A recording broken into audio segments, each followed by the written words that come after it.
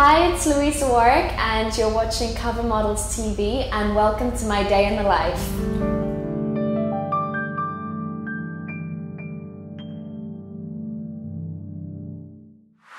Originally, I'm from the UK, Yeah. and I went on a TV show when I was 18 or 19 years old, um, which is based around girls wanted to become models. Okay. So I did that show, had a great experience. Oh, it was like a, like competition? Yeah, it was Next Top Model. Oh, I don't know. They have an American version over Yeah. here. Yeah. So I did that show Wow. and had a great experience.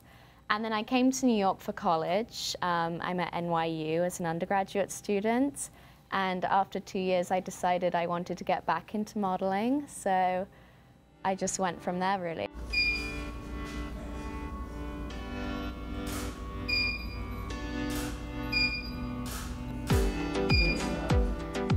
Were a little girl, Mm-hmm. did you imagine yourself doing modeling?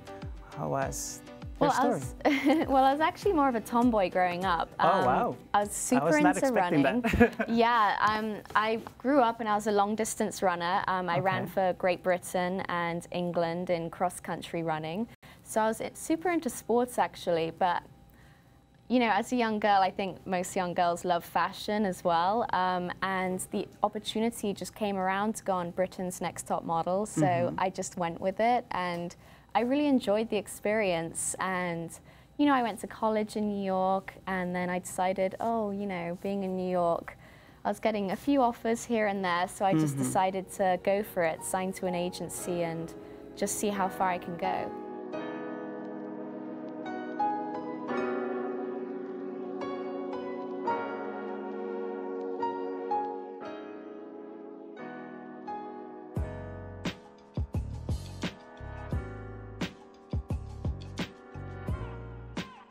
Before I moved to New York, I lived in central London for a year. So I think that really helped me just get used to living in a major city. So for me, it wasn't too bad going from London to New York because I think the cities are quite similar. Your goals. What are your goals in the industry? So, well, I'd say my goals are just to continue working really hard. Um, and for this year, I just want to graduate NYU and then continue the modeling and just have fun with it really and see how far I can go. It's all about it's all about having fun and making networking. Exactly. Yeah. Are you signed with an agency? I am. I'm with APM Models, Mm-hmm. and they're a great agency. Really important to go with a really reputable agency. If you're Mm-hmm. thinking of going into modeling, you know, go to a major city like New York, Paris, London, Milan, and go and meet with as many agencies as you can and just test the water, see which ones really like you and which ones don't. Because mm-hmm. I would say go with an agency that's really going to push you. And then I'd also do your research. You know, if you get offered a contract by an agency, you know, just contact a few of the models they have and just get a feel for, you know, how often do you work? What type of jobs do you get? Are they mm-hmm. good with payments? Um, and then just make a decision based off that.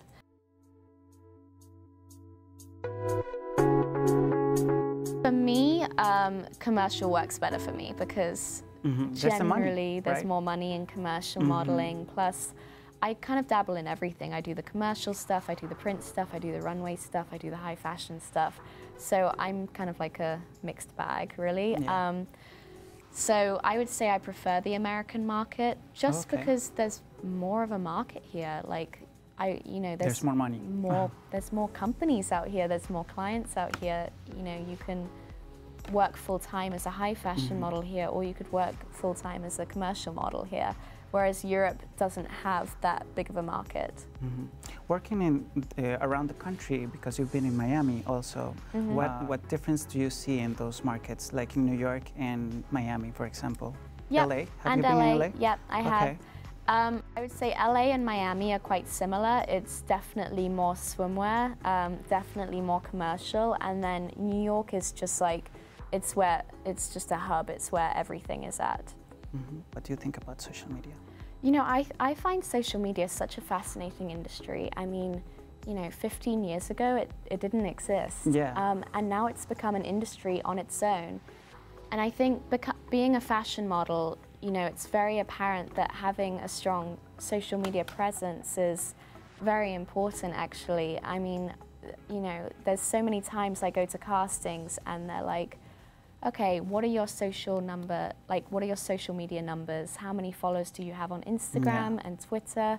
Because a lot of these companies, they want to book a girl with a lot of followers. So, I mean, it's essentially free marketing for them, you know. Mm-hmm. Yeah.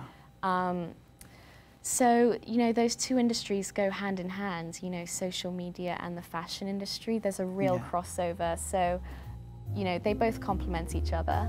I follow you on Instagram. I'm on yeah. Instagram, I'm on Twitter as well, and that's it.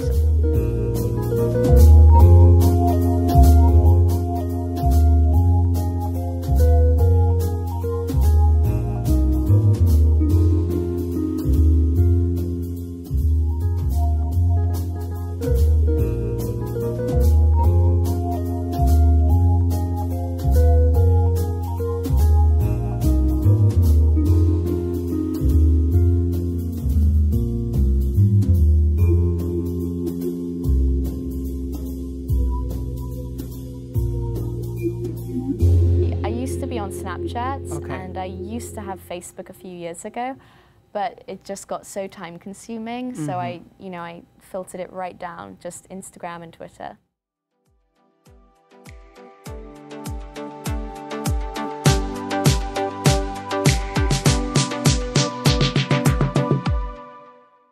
What is your biggest accomplishment as a uh, as a model here?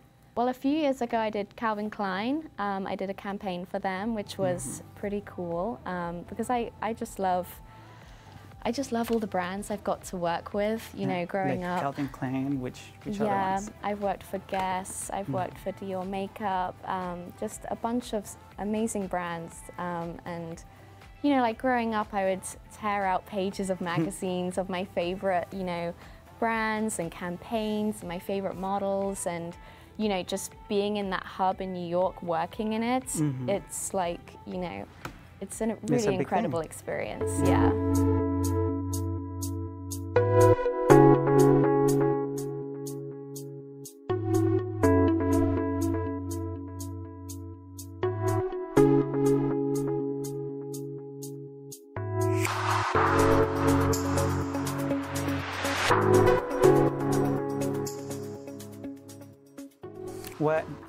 Have you done? Uh, magazines?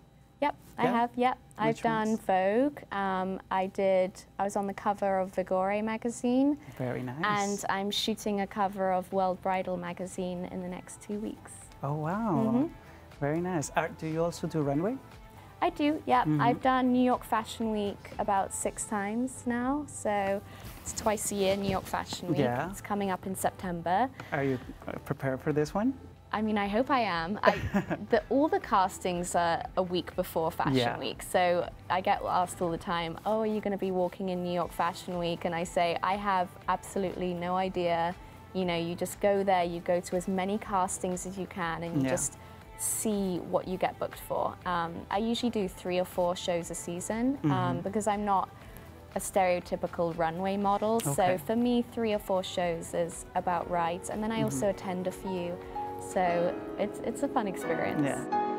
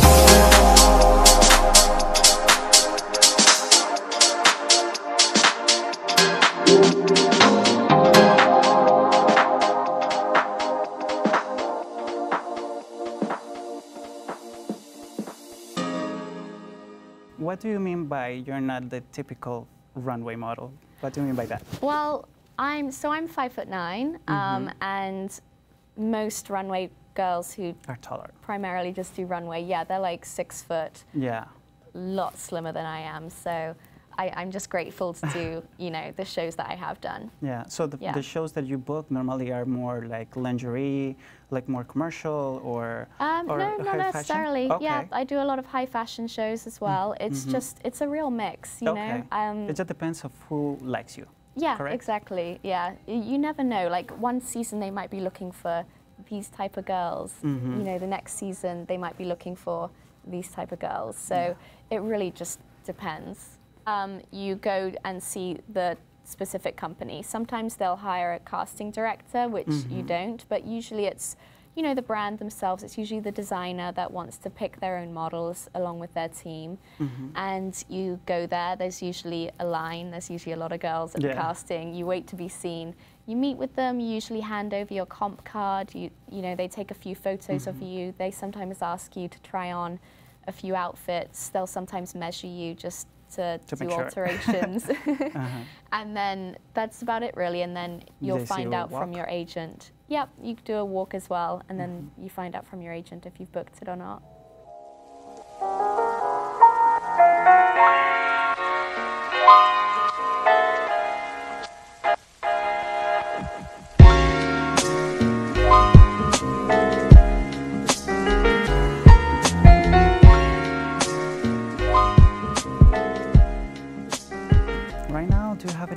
projects going on besides the magazine that you're gonna shoot?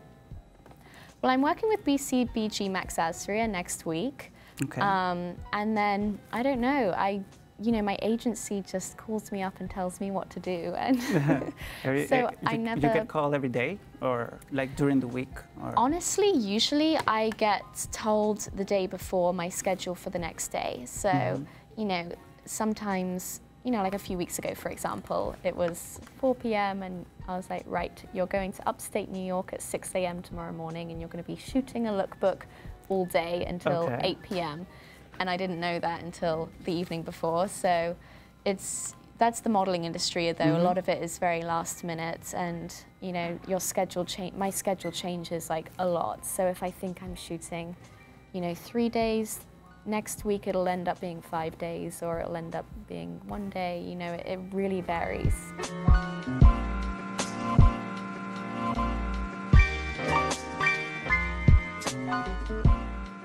Well, for me, I, I really do have to prioritize the education um, because, you know, graduating is very important to me.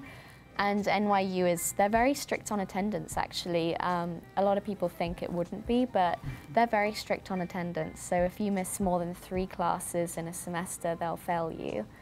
Um, and the classes are very small. Um, You know, most of my classes are maximum 20 people, so it's, you, it's very like, you know, you do learn a lot and you do have to be there and engage and speak up in class. I'd like to combine, you know, the sports management degree with the modeling. Yeah. I'm really interested in marketing PR and PR, so maybe we'll go there. But I'm also thinking, I think I might go to law school, so oh, that's just okay. another one I'm interested. I, you're I'm just like, I don't know.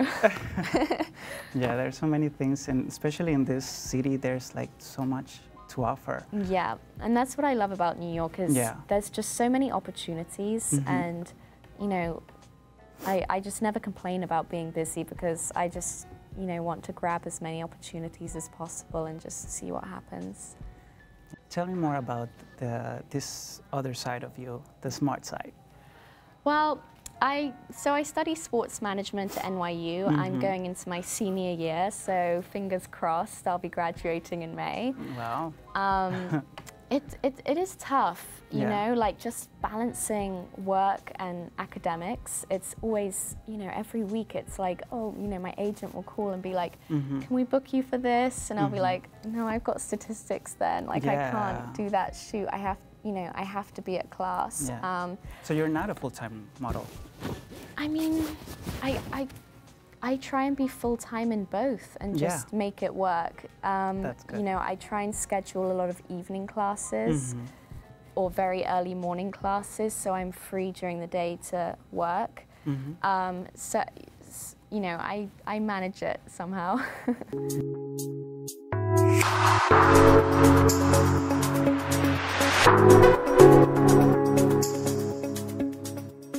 at the moment, I'm running a lot. I'm training for the New York Marathon in November, so Wow. it's so intense. And how, how long is it? Um, the marathon's 26.2 miles, Oh my god. and I'm aiming to do it in three and a half hours. Okay, Um, that's a good bit of time Yeah. to make it possible. Yeah, the training though, it's it's it's intense. It's it's such a strain on the body. I'm working. I'm running 35 miles a week right now, um, and I'm, I should probably increase that to 40, 45 miles. But it's intense. It's it's definitely tough. But I want to, you know, it's a goal of mine to do the New York Marathon. So I'm gonna make it happen. I can imagine. Do you train by yourself or do you have a trainer? I'm so I'm a member of the New York um, Running Club, um, the Central Park Track Runners. Okay. Yeah, and they're a really great team. They have some really fast runners, so I'm training with them twice a week. I can uh, bring you around and show you a day in the life. It might be a bit hectic.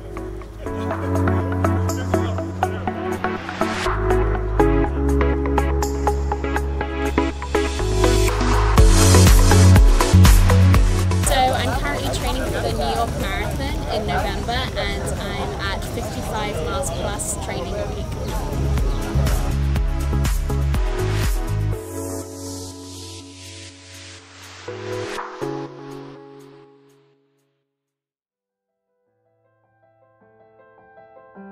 Normally, when I'm in school as well, um, normally I would wake up. I usually like to go for a run either early in the morning or later at night. I either go to the gym or go for a long run.